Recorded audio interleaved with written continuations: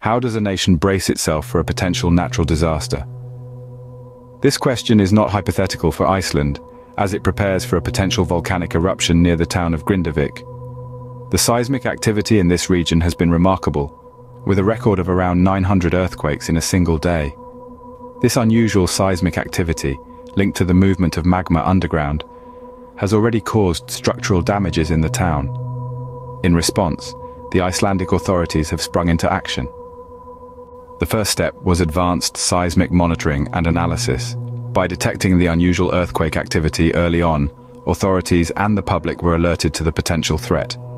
In reaction to the escalating seismic activity, the Icelandic Meteorological Office took swift action, raising the alarm level to a state of emergency and issuing an orange aviation alert. The safety of residents was a top priority. The people of Grindavik were evacuated as a precautionary measure. This evacuation was handled efficiently, with residents allowed to return briefly to their homes to collect essential items like documents, medicines, and pets. This move ensured the safety of the residents while minimizing panic and confusion. Next, the protection of critical infrastructure was addressed.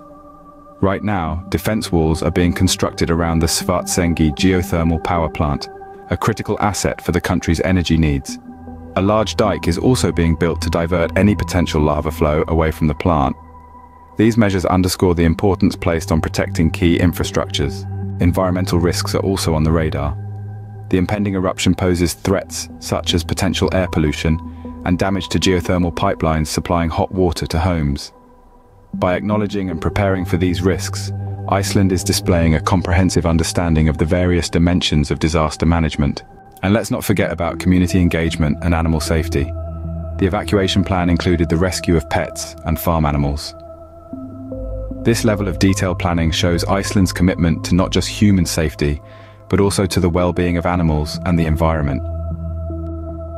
In conclusion, the proactive measures Iceland has taken in managing the risks associated with the volcanic activity near Grindavik are commendable. These actions not only ensure the safety and well-being of the residents, but also protect critical infrastructure and the environment. The case of Grindavik serves as an exemplar for disaster preparedness, providing valuable insights for risk management professionals around the globe. This is a powerful illustration of how a nation can prepare for a potential natural disaster, a lesson in risk management that we can all learn from.